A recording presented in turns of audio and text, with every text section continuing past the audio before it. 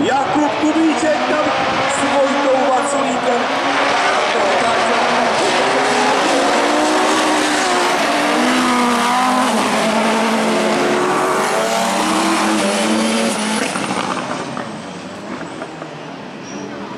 No ne do sebe, ty narazili, ale prostě boj se přetáčel a bojoval.